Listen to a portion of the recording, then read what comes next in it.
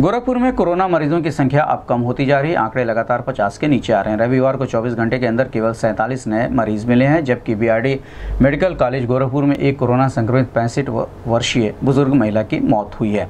इसके बाद से ज़िले में संक्रमितों का आंकड़ा बीस पहुँच गया है। इनमें उन्नीस लोग ठीक हो चुके हैं, जबकि मौत की संख्या तीन सौ पच्चीस हो गई है।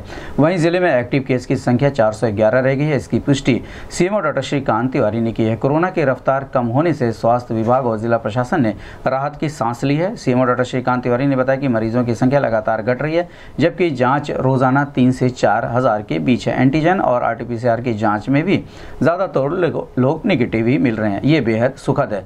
संक्रमितों के संपर्क में आने वाले कम से कम बीस लोगों की भी जाँच लगातार की जा रही है।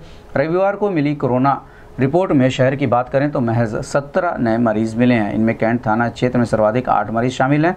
इसके अलावा गोरखनाथ में एक, शाहपुर में दो और राजघाट और कोतवाली थाना क्षेत्र में तीन तीन मरीज़ मिले हैं, जबकि ग्रामीण क्षेत्र में तेईस नए मरीज़ मिले हैं।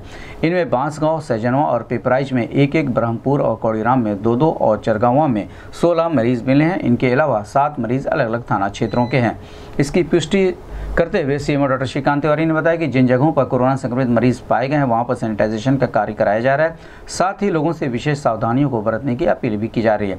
दो गज की दूरी, मास्क है ज़रूरी। सामाजिक दूरी का करें पालन अपने और अपने परिवार को बनाएँ स्वस्थ और सुरक्षित। सीएमओ डॉक्टर श्रीकांत तिवारी ने बताया कि इस बीमारी से बचने के लिए विशेष सतर्कता बरतने होंगे, क्योंकि इसका वायरस ठंड में ज़्यादा असर करता है। इसलिए लोगों को भीड़ भाड़ से बचते हुए मास्क का इस्तेमाल करना होगा। जब तक कोरोना की वैक्सीन नहीं आ जाती, तब तक मास्क ही सबसे बड़ा हथियार है।